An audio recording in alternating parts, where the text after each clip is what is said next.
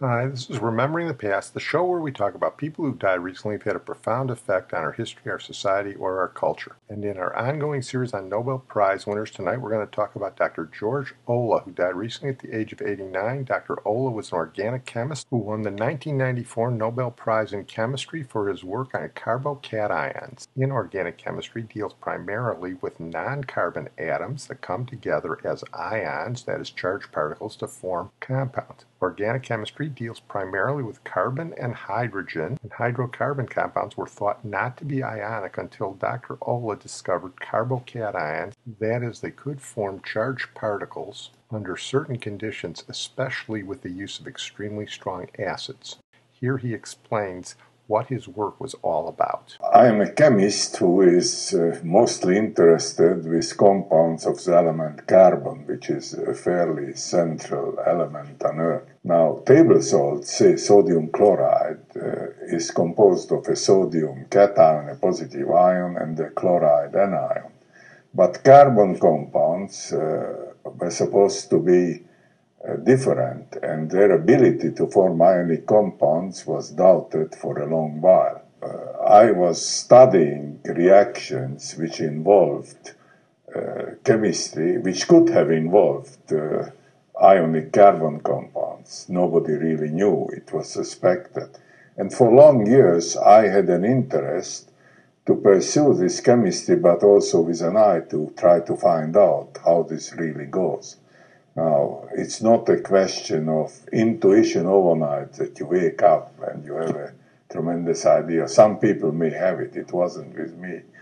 But through a fairly long struggle, eventually I was lucky to find systems in which these long elusive uh, positive ions of carbons, which they call carbocations, carbon is element and cation is uh, positive ions, were observable, and uh, as uh, the Nobel Committee stated, I gave supposedly long life to this design. But in order to do this, it was necessary to use very acidic system, which now are called superacids. And when I said very acidic, say your car battery has sulfuric acid in it. And when I grew up, maybe even now in most schools, school children are taught that uh, sulfuric acid is a strong acid.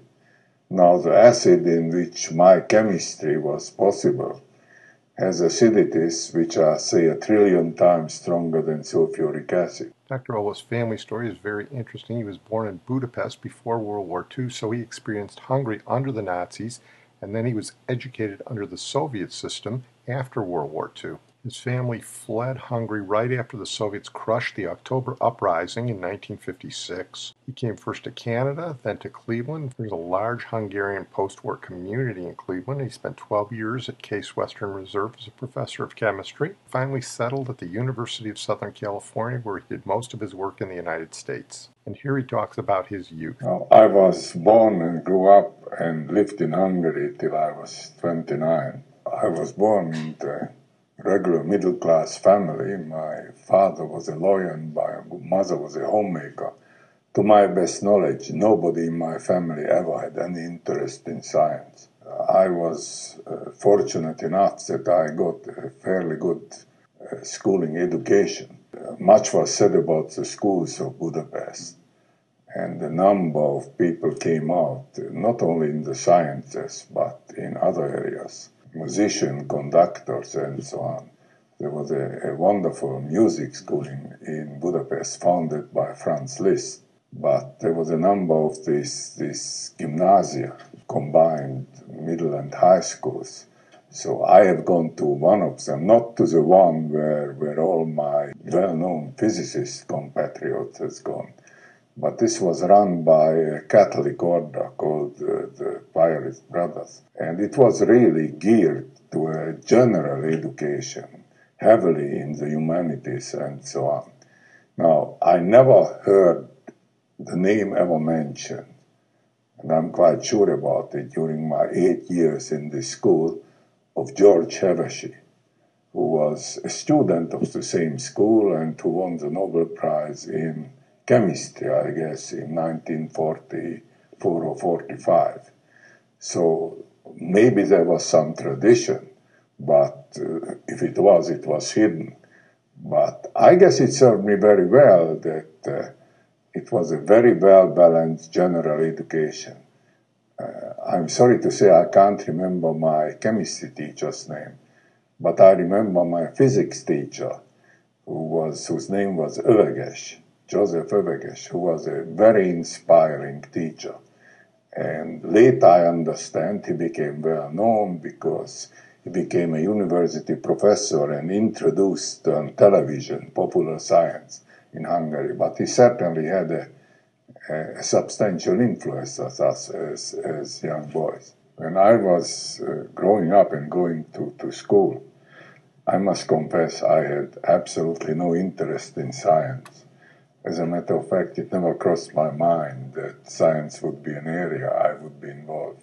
I had much interest in history, literature, languages, even philosophy.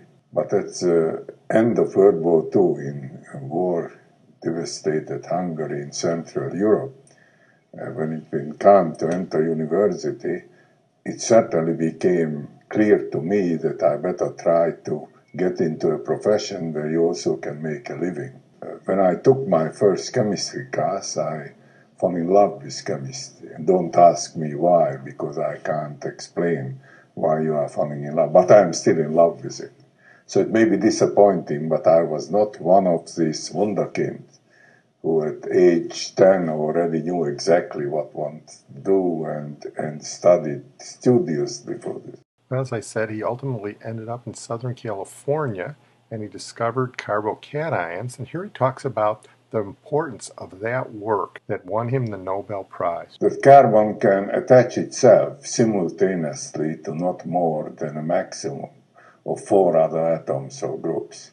Now, in studying these positively charged uh, species of carbon, uh, we realized through a series of, of investigation that with these systems, carbon can attach five uh, atoms or groups, sometimes six, and recently we showed even seven. Now, this doesn't violate the fundamental rule of what uh, chemists call the octet rule, so you can't have more than eight electrons surrounding carbon at any time. But on the other hand, if I mention the simplest uh, carbon hydrogen compound, hydrocarbon is methane, CH4. With our uh, very strong acids, we can attach a proton to methane, and CH5 plus is not a fictional species anymore. It's a it's a very realistic and quite intriguing species, which has substantial bearing on fundamental chemistry in general. But in a practical way, this chemistry opened up possibilities to activate and react hydrocarbons to natural gas and oil are really just mixtures of hydrocarbons. And the chemistry we developed and are still developing allows to take, say, methane or natural gas and transform it into all kind of useful products through this new type of chemistry. Here he talks about what it felt like to get the Nobel Prize. It's a time difference. This was early in the morning. We are early riders, so we were up and having breakfast. You get this proverbial phone call. Obviously, uh, it takes a while to sink in. You are obviously gratified and elated. Uh, you really don't know what this all means. And then all hell broke loose. So then we had this wonderful week in Stockholm where we were floating on adrenaline. So it takes a while that it settles in. It's a wonderful, gratifying thing. On the other hand, uh, you should keep your proportion. The fact that you get a prize really isn't making you overnight some type of a different person. You know, obviously, anybody who, who receives this prize uh, will tell you that it has an effect. Look, one thing is, I wouldn't be sitting here interviewed by you if I wouldn't have received the Nobel Prize. On the other hand, uh, I was uh, quite well established in my thought that it basically, I am still a working scientist and I still love to do this. And I'm also blessed with a wonderful wife who keeps me very down to earth. So I haven't changed, I hope, as an individual. And I work harder than ever because with the Nobel Prize are coming new responsibilities, which I try to perform. But I still, my primary life hasn't changed. And my life is, is around science. Well, he continued to do research, but he spent much of his later life teaching, and as with many great scientists, he branched out into philosophy. I still teach and I love teaching. The text we are using is Goethe's Faust, as something which which was written by a great poet. The story, at least of the first part, is a chemist story or an alchemist story. And the second part is that whereas the alchemist couldn't make gold, but paper money was about invented at the time, and he puts paper money instead of gold, saying that from nothing some value is created. So I enjoy it very much and I learn more than my student. I think for any scientist it's essential to have contact, free exchange, and as we said, kicking around ideas. And you do this all the time with your students. I consider the greatest blessing to be a university professor. It, it keeps you young, your, your students are your wider scientific family, and in this give and take, I hope that I am, I am inspiring them a little. At the same time, uh, they keep me active and going. I think my role as a professor is a catalyst and somebody who tries to provide them a milieu where they can pursue their work and study, relatively shielded from what they will later be exposed in the world.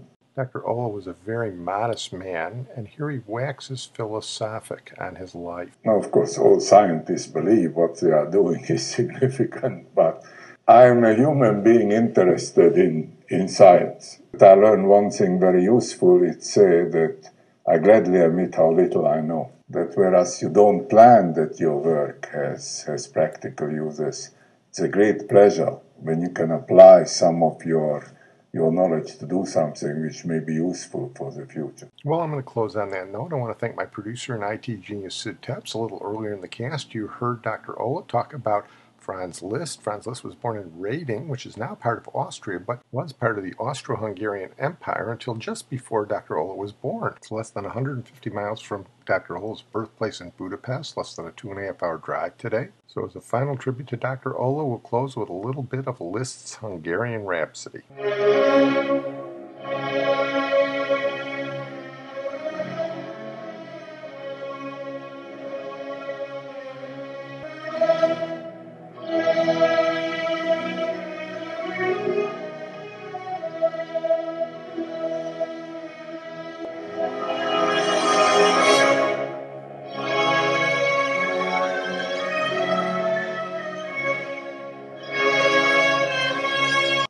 Mathematics, I think you must have some born talent.